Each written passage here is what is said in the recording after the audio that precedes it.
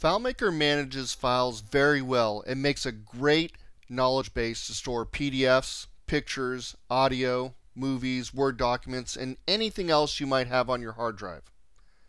Let's start simple by adding a container field to store a picture of a contact.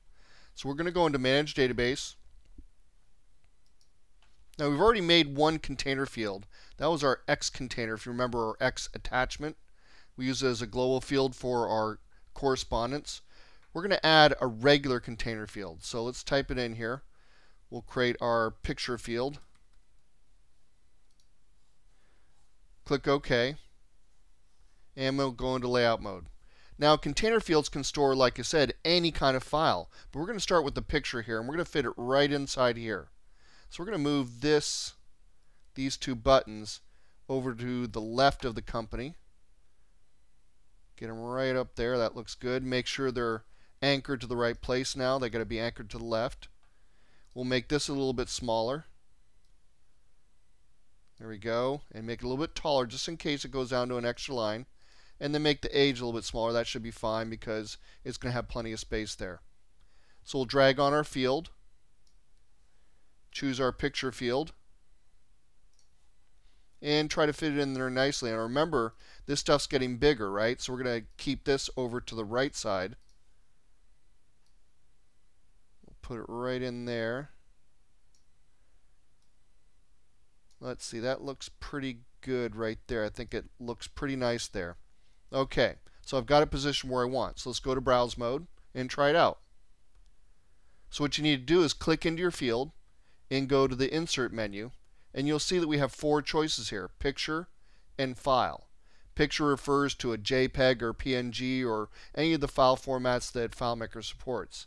File, of course, means a general, any kind of file that you have on your hard drive, and we'll look into those later. But why is audio, video, and PDF not uh, available? Well, the main reason why it's not available, other than installation issues, would be that you don't have it set as interactive. So you can see there's this option down here under the last tab of the inspector. You can set it to interactive, of course, playback automatically. That'd be the audio or the video. And the PDF has interactivity. So once we click that, then you'll see when we click in there, we can actually insert an audio, video, or PDF. But we're going for a picture here, so we're just going to go ahead and switch that back. Go into browse mode. And so all you do is go and insert picture and then locate the picture you want.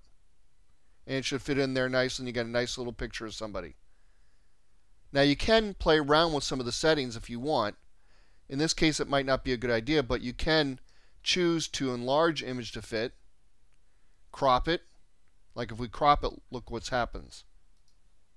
You can see that it's going to go ahead and just be a picture of my lips there. That's probably not very good. In fact, probably the best way to test this out and see how it looks with the uh, sample picture is to turn on sample data. Always one of those things I forget to try. So now we can come in here and see what it looks like. We'll say, okay, enlarge image to fit.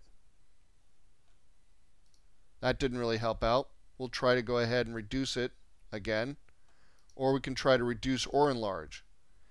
So probably in this case the best choice is reduce image to fit. And you also have this option maintain original proportions. You can see that's a key one. I don't want to look that that big. That's not a good idea, a good look for me. And one thing I might do in this case, rather than having all those edges there, let's take off all this stuff. I don't care if the picture goes to the edge. Looks good to me that way anyhow, and that will give us a bigger picture there. There we go. And you can see for a standard picture size, we probably don't need that much space, so I'm going to reduce it a little bit. All depends. you got to do a little bit of experimentation, see how it looks. And that looks pretty good. Leave it right there. Go back into browse mode. Actually, I'm going to turn off the sample data. We don't need that. But before we go into browse mode, let's go ahead and make it easier for people to insert. So back into browse mode, we'll see that you need to click there and then go to the insert menu and choose picture. You want to make sure it's not confusing for them.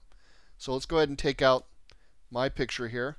Just deleted it. It's very easy to do come over here to the placeholder, which we've used many times before, and I'm just going to type in some text.